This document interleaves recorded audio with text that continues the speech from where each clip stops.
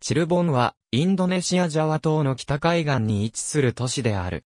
西ジャワ州に属し、ジャカルタから約 297km 東にあり、南緯6度43分、統計108度34分に位置する。以前は、チェリボンと呼ばれていた。この後は、よく、スンダ語の貝と、レボン、からできたと言われている。また、この都市には、ジャワ人、マレー人、スンダ人、カジニアラビア人の文化要素が混在していることから、混在を意味するジャーワ語のカルビンから来たとも言われている。また、チルボンの外から来たインドネシア人たちは、チェレーボンと発音し、土地の人は、チェルボンと発音する。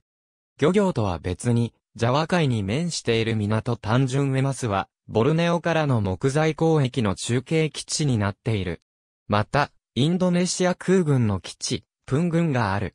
ジャワ北海岸の主要道路である、ジャルールパントゥアに面しており、ジャカルタを通りスラバヤまで繋がっている。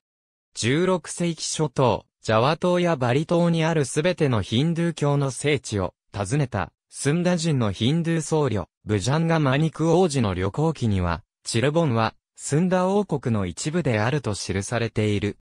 現在、イギリス、オクスフォード大学のボードリアン図書館に16世紀以来保管されている彼の培養には、スンダ王国の西の国境は、スンダ海峡であり、東は、パマリ川と、中央ジャワ州のスライユ川であると記されている。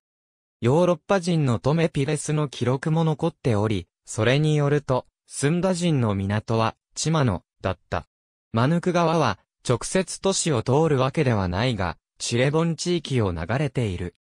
事実、この川は、インドラマユを通っている。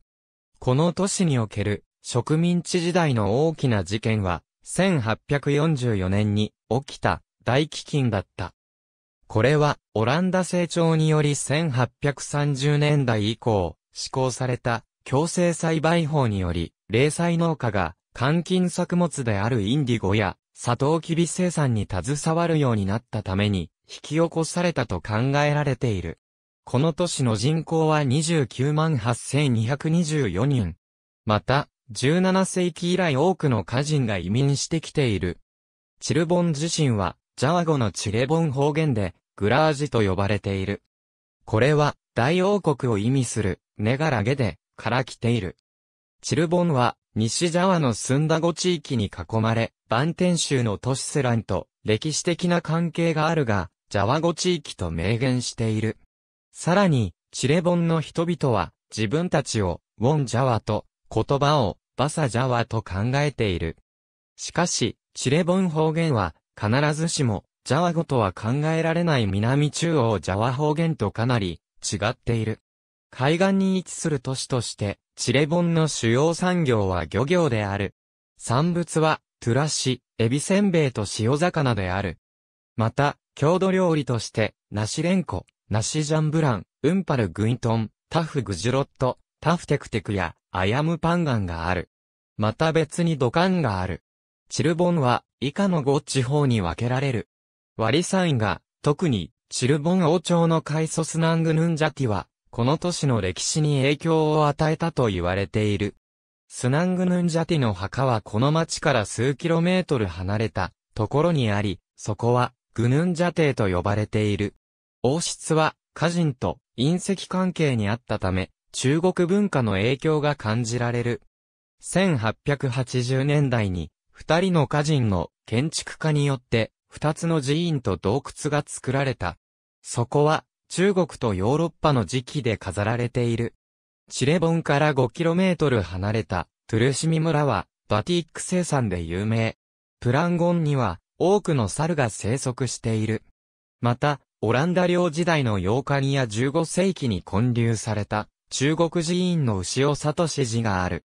チルボンには16世紀に建てられた以下の4つの宮殿がある。チルボン王国としては、マタラム王国の属国、続いてオランダの保護国となるも1815年にイギリスの直轄領となるまで存続。チルボンの港は1865年にオランダ東インド成長によって作られた。主に香辛料、サトウキビと西ジャワの原料の輸出が中心だった。1890年までに倉庫と屋外保管場が開発された。20世紀初頭にはブリティッシュアメリカンタバコ会社の工場が建設された。現在の港湾活動は西ジャワの高配置のための大量の石炭、液体アスファルトや植物油の輸入が中心になっている。2002年までにコンテナ貿易と小舟活動も増えてきた。2006年にはその取扱量は327万メートルトンになり、他のインドネシアの港からの輸出の90%を占めている。ありがとうございます。